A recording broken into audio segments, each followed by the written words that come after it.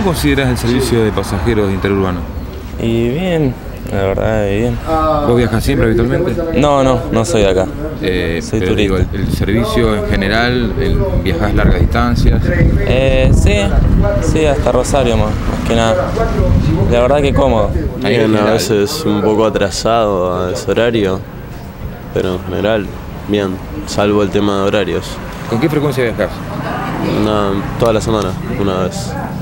Eh, nada, qué sé yo. No, no, no, ninguna queja importante, salvo la del tema del horario, que por ahí es un poco irrespetuoso. No se cumplen los horarios como dicen por ahí, como, como están anunciados al horario que van a la, mitad de las veces sí y la mitad no. Y bueno, hay veces cuando tenés que llegar a un horario donde se te, se te dificulta. Bueno, según, viste, hay días que presenta deficiencia y según qué empresa. Y si vos tomas un coche de, de una empresa con el mismo precio casi nada que ver con la otra. La- la- las deficiencias que usted me menciona, ¿cuáles son? De los coches, algunos coches son muy viejos. Los horarios más o menos se respetan en las dos, las dos que tenemos acá. Pero los coches, los coches a veces son muy viejos, descuidados, en una sobre todo, más que en la otra. Entonces, viste, trato de elegir siempre la que tiene el mejor coche. Y por ahí es bueno y por ahí es malo, porque por ahí yo viajo a la facultad y tengo un horario y por ahí llego tarde. Entonces me parece que por ahí son medio irresponsables o te pone cara fea si vos le decís algo. Con el tema de- del descuento estudiantil, ¿y ¿eso lo viene cumpliendo? Eh, sí, lo vienen cumpliendo.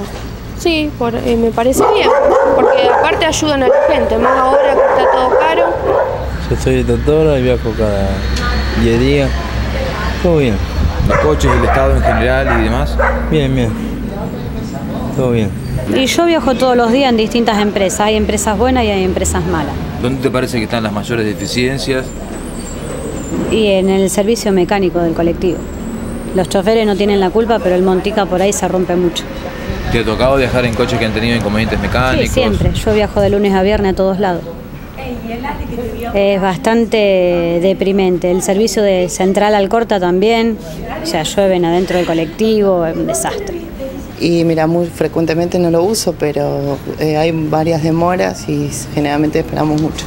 Y bueno, nosotros, no- viajamos no, muy seguido, sí, pero por lo menos este, el horario se cumple. Salen a horario y, y- podemos volver. Lo único que acá la chica de la ventanilla pobre, una sola empleada para, para todo y no le funcionan bien las máquinas, se volvió loca. Ahora está haciendo los, los pasajes a mano, ¿no? Me parece que debería mejorar Debería, ese, ese- debería mejorarse la parte de informática, ¿no? tenerlo un poquito más, más modernizado el, el sistema. No digo poner más empleados, pero que la chica por lo menos tenga un- mejores este, elementos para trabajar, ¿no es cierto? Y viajo tampoco yo. el nivel de los colectivos en cuanto al cumplimiento del horario y demás. Y yo no soy de acá, soy de las parejas, pero por lo menos tiene horario, no sé. No, no lo he encontrado eso, no lo he encontrado. Gracias. Bueno, hasta ahora bien. O sea, de todo yo no tengo problema, porque acá viajo puntual, digo. Digamos, viajás seguido. Sí, bien, no, yo trabajo acá, yo vivo en Cacarañá, trabajo seguido. Pero bien, bien, no. Está en horario, está todo horario.